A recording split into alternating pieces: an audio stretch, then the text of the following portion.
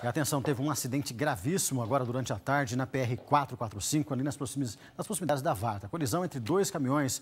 Os dois veículos pegaram fogo. Mas, por um verdadeiro milagre, nenhuma pessoa morreu nesse grave acidente.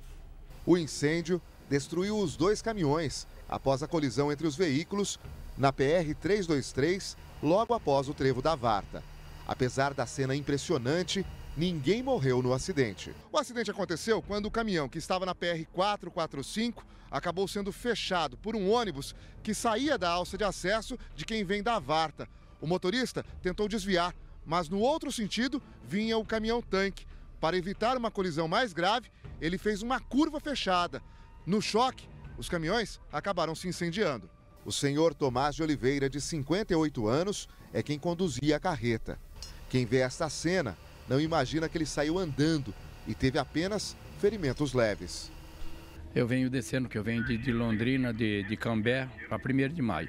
Aí, no passar o cruzamento aqui, um, o ônibus do Goiânia 600 saiu de uma vez na frente. Na minha frente tinha uma caminhonete. A caminhonete conseguiu parar e eu não consegui.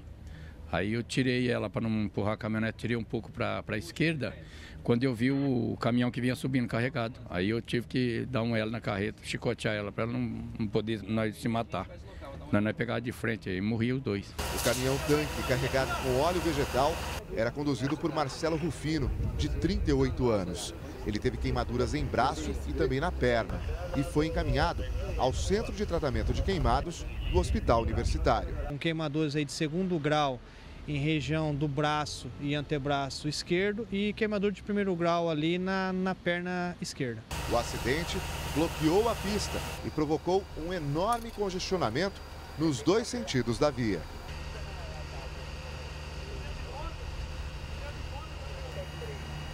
É uma imagem impressionante, impressionante. Você vê dois caminhões assim, sendo literalmente consumidos ali pela chama e uma vítima ali com, com queimaduras leves, olha, pode-se pode dizer assim, queimaduras leves, né? Graças a Deus não foi nada de grave, cara, porque numa pancada dessa aqui, o que acontece? Geralmente as pessoas ficam presas às ferragens, principalmente na cabine do caminhão, ficam presas ali. E daí até chegar de socorro, o fogo se alastra rapidamente, não tem como as vítimas saírem.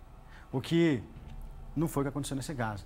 Teve até um acidente não sei se me recordo, se foi no início do ano ou no final do ano passado, aquela mesma região lá que pegou fogo no caminhão, a vítima não saiu, conseguiu sair. Até colocou aqui com as pessoas comentando que, o, que a pessoa, o motorista, não tinha morrido na hora da batida.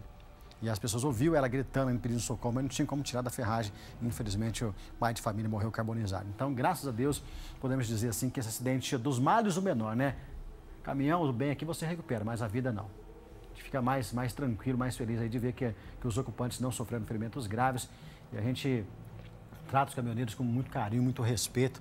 Claro que tem uns caras imprudentes aí, isso, isso é fato, isso é, é normal, tem gente imprudente, tudo quanto é profissão, né?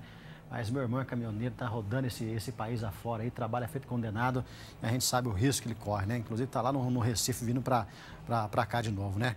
Deus abençoe todos os caminhoneiros, que a gente sabe da importância que vocês têm para o andamento do nosso país, né? Mas olha, os caminhoneiros aí precisam ter mais cautela, hein? precisam ter mais cuidado.